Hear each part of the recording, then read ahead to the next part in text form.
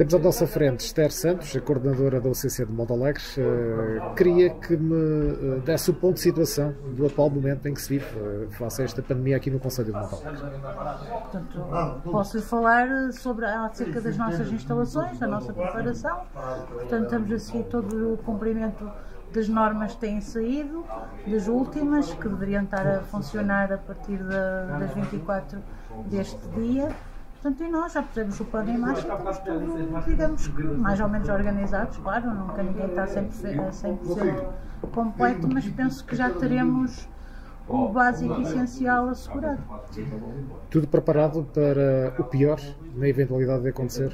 Eu acho que ninguém está preparado. Nós vimos as notícias nos outros países, pensamos que pelo menos o mínimo, aquilo que. Uh, o básico, penso que sim, está assegurado. Agora também ainda nós ainda nos conseguimos rir, como eu digo, porque ainda não conhecemos nenhum caso à nossa volta. Se calhar daqui para uma semana a conversa não mudará completamente todo, mas neste momento está ser Para já, quais são as grandes preocupações? Olha, as grandes preocupações é conseguirmos proteger, conseguirmos garantir que fizemos tudo e que calculamos tudo para nos proteger essencialmente a nós. Também temos a nossa família em casa e isso preocupa-nos, não é? E garantir que também conseguimos dar resposta aos utentes que entrarem e que estamos e não vamos contaminá-los nem nada disso. Vamos estar devidamente protegidos e, e trabalhar nas condições adequadas de, de, não transmitir nada. É isso que nós queremos, essencialmente. E que os materiais não nos faltem nada. Como profissional de saúde, o que é que mudou no dia a dia? Que mudou no dia a dia, mudou tudo.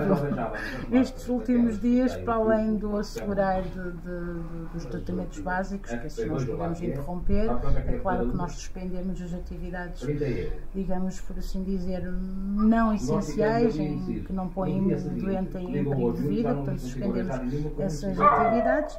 Mas, claro, todos aqueles que não estão a desempenhar as atividades, estamos envolvidos na, na limpeza das salas, porque foi preciso reorganizar espaços na limpeza das salas, no mudar móveis, em tudo isso, portanto, estamos a 100% ocupados na mesma, todos.